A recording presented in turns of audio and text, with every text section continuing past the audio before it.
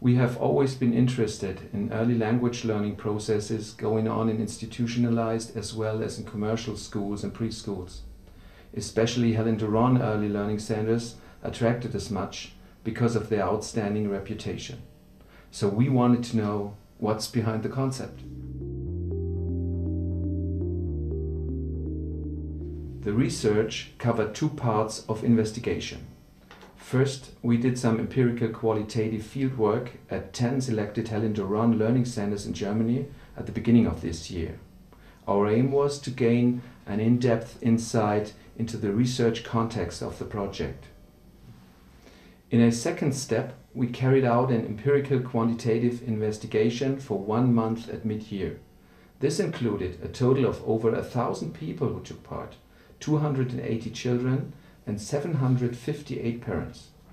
What we wanted to find out was how do children learn English in the specific context of the Helen Doron learning centers?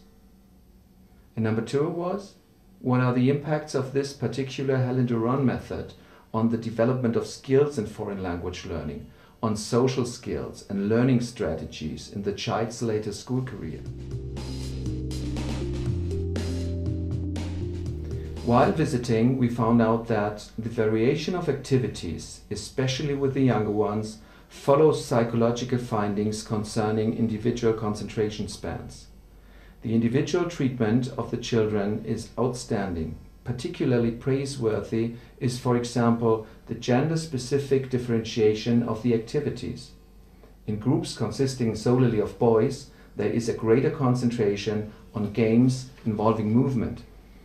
The center's resources are equipped appropriately, a clear advantage over state institutions.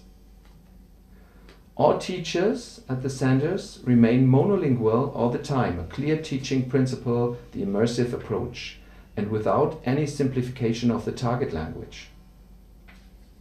Positive feedback is given very often and in a wide variety of ways. In all the centers, the teacher's lively enthusiasm was impressive, a clear precondition for the kids to enjoy learning English. The children's voluntary participation is a central tenet of the motivational concept. However, the child is still constantly invited to actively join in. The teachers encourage the pupils to speak as much as possible, or if too young to speak, to show their understanding. The level of progress in all the courses visited was comparatively high.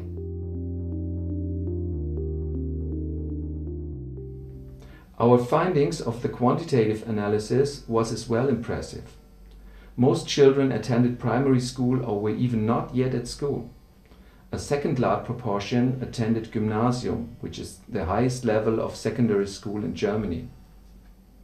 More than half of the parents are academically qualified. This explains the intellectual willingness to support either early learning at preschool age or extra tuition later when necessary. The most ideal age to start learning a foreign language as a young child is three years. The average starting age at Helen Doron centers is approximately four years. That's fantastic.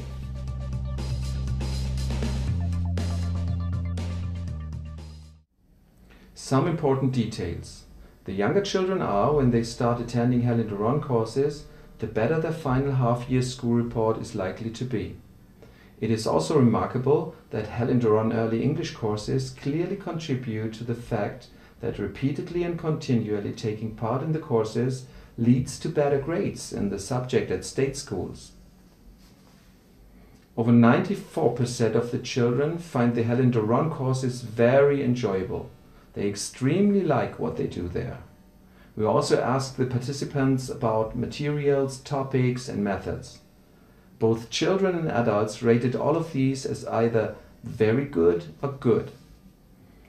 Over 60% of the children feel that the courses have had a positive impact on their performance at school. These kids are completely sure that the courses give them an advantage over their fellow pupils. 20% more are strongly convinced that the courses have given them more self-confidence and also confidence in their linguistic ability. 91% feel at home and secure in English. The majority of children, over 80%, are convinced that the Helen Doron courses have facilitated their transition to secondary education. The positive result given by the children is confirmed by the parents' answers. Almost 95% of them consider their children to be well equipped for the transition by Helen Doron courses. All respondents generally relate their success, whether past or future, to attending Helen Doron courses. What is astonishing is that the key factor to this is not just the increased ability in English, but also, indirectly, the metacognitive skills acquired and specific strategies and techniques for language learning. What we can concludingly say is that over 80% are very satisfied or satisfied with their children's success. The general satisfaction level even stands at over 97%. What a benchmark for English language learning at state schools.